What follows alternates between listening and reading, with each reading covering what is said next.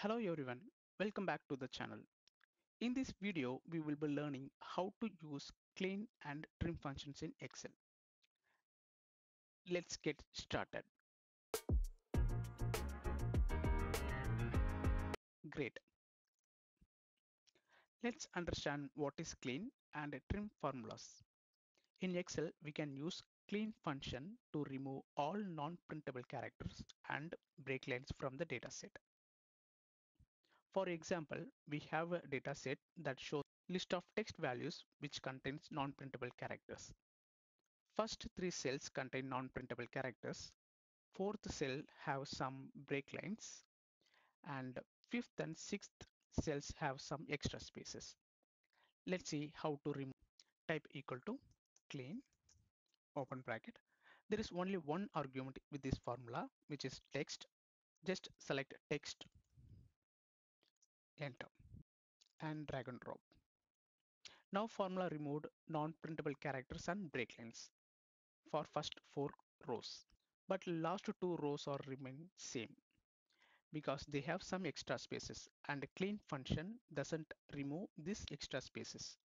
For that we can use trim formula to remove all extra spaces except one space in, in between each text values equal to trim open bracket. Here also only one argument.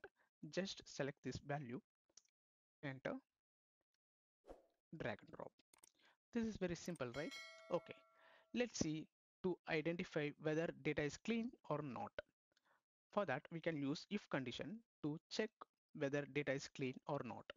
Equal to if open bracket clean open bracket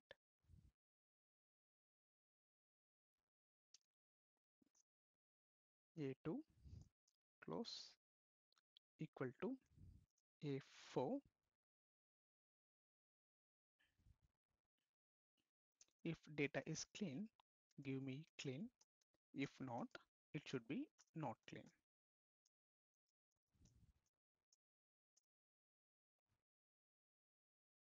And just drag and drop. So data is not clean so it's returning as clean not clean let me remove this non-printable character. Okay it's turned to clean. The same method we can use for trim formula as well. So here i'm going to change trim. Yeah it's not clean because there are more spaces in between two words. Let me try to remove spaces.